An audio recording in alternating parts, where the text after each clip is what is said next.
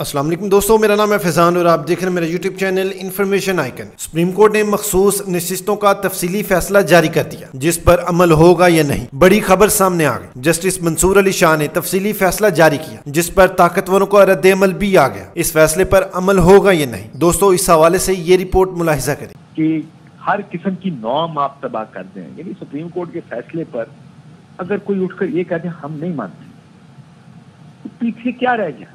यानी अगर कभी हुकूमत कह देती है, हम नहीं मानते। कभी हुकूमत एक ऐसी कानून साजी कर देती है, जिसके बारे में हम नहीं जानते। ऑनेस्टली मैं एज ए लीगल एक्सपर्ट मैं नहीं जानता हूँ। एज ए जर्नलिस्ट मैं नहीं जानता। लेकिन लीगल एक्सपर्ट ही कहते हैं कि कोई कानून पीछे से नहीं बन सकता। कोई कानून आप ये नहीं कर सकते कि एक टैक्स की शराब रखें और कहे कि इसका इतलाक अब 2010 से होगा।